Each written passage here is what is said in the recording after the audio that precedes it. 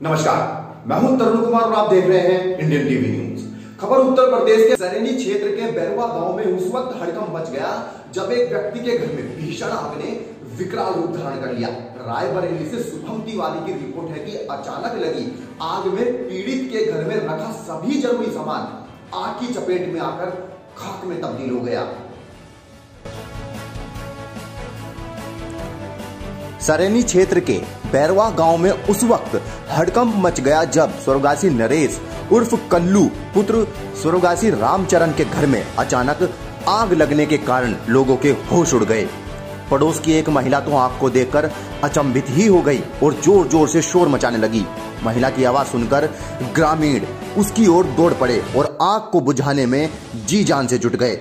हालाँकि जब तक आग बुझती, तब तक घर में रखा सारा सामान राख में तब्दील हो चुका था। राशन, बिस्तर, कपड़े, खाने का सामान, धान, चावल, गेहूँ, आदि सामान और बावन सौ रुपए जलकर राख हो चुके थे।